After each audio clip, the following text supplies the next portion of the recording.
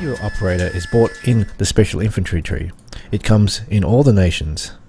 Out of the 10 special points, it costs 4 of those. So it's a significant chunk and it costs a 15 CP, which is quite significant for the 3 guys you get.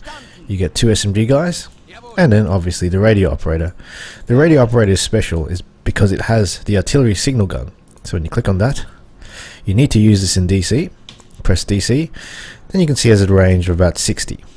So if I fire this, basically what it does, it shoots five signal flares, and the explosion will basically happen where those red red signals are.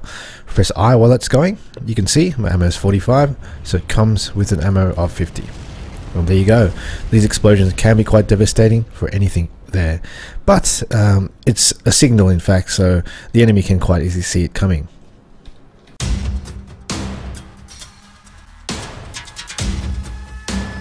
Buying a radio op is something you should consider quite carefully.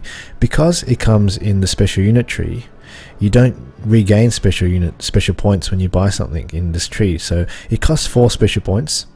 For, in Germans, for example, you can't afford a veteran tiger if you buy a radio op, so that will um, stop you from buying this in the whole game. uh, some good combos though, if you want to go the radio op, is get the veteran sniper, Brandenburger, then the radio, Op, then the Brandenburger. This will enable you to utilize the best German infantry available in the special tree. radio op should not be bought in 1v1s or maybe even 2v2s. 3v3s and up I say it has its use in certain maps where you can shoot over arcs and over hills. If you're fighting heavy tanks and you have some special points spare and you can think you can track a tank and destroy it, the radio op is definitely a good investment.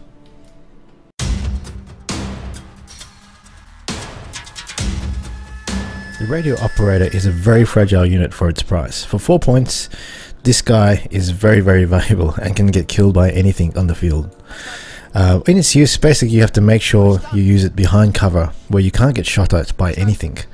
A good way to actually, I suppose, find your targets is get some infantry out there to scout. So once you spot what you want to fire at, for example, a good radio op target is, uh, I suppose you could use it to destroy sandbags, and fortifications. Emplacements are also good to destroy, such as anti-tank guns or stationary MGs. So I just go over here, I've got this house to go over, and I'll just shoot. So in this case here, it's quite slow to actually escape. So if I was the Pak 40, I'll have to escape quite quickly. The infantry may escape, but you can see here, the sandbags will be all destroyed, and the Pak-40 died that time. Uh, sometimes the enemy may not be looking in that location, and in that case the Pak-40 would have definitely not escaped.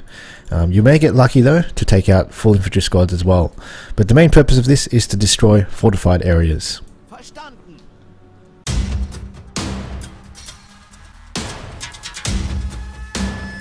Where the radio op really shines is in its indirect effect on the enemy and what they build and bring to the field.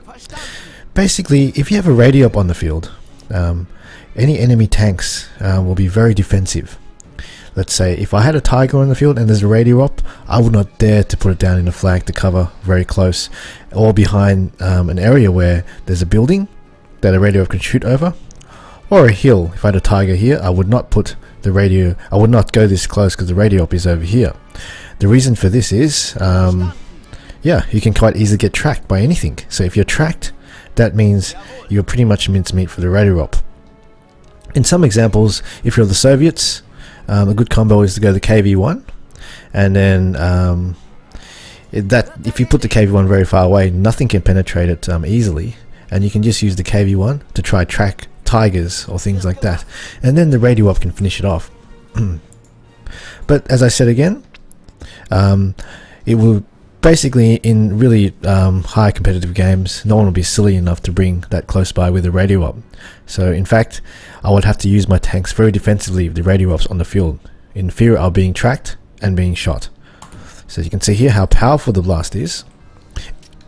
In this case, this tiger is tracked, and once it's tracked, it can be a sitting duck for the radio op.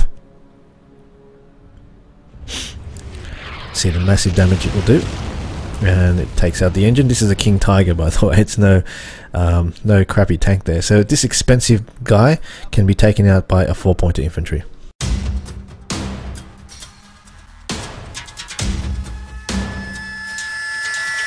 The radio op also can be used to take out things in your way. For example, let's say you have a big MG line and flak um, 20mm defense here, and it can't shoot because all of, all of these buildings in the way, and you want it to have a clear line of sight. Or you have a AT gun here which you want to cover the whole map. The radio op can destroy buildings quicker, and I suppose without without much risk because you're shooting from far away instead of having to go there and dynamite it.